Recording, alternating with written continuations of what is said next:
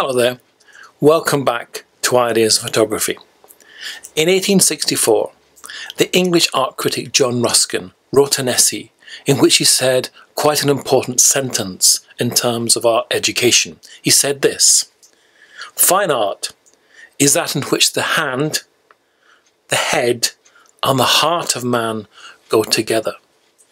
Now this is really important because what he's saying here is that your emotional pull to your subject is important.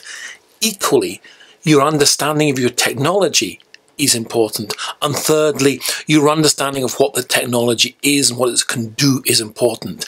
Everything must be in balance.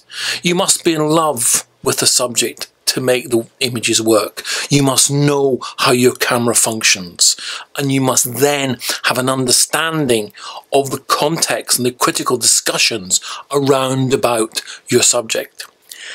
I think very importantly that when you have that balance things work when the balance goes out when it becomes too technical or it becomes too theoretical or you well, you're just not interested in your subject then the images don't work so think of your heart.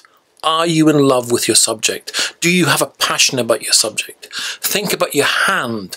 Do you know how your computers, how your cameras, how your technology works? That's very important. That's as much part of it as anything else. And thirdly, do you understand the context of your work?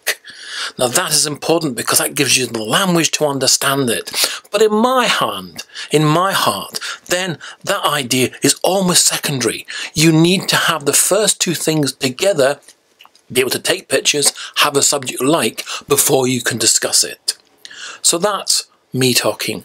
And on a side, you will notice that I'm only giving out videos every two weeks. That's purely because I'm quite busy marking. So on that subject, I've finished, but I've got another tranche to go. So in two weeks' time, another Ideas on Photography. Ideas on Photography out.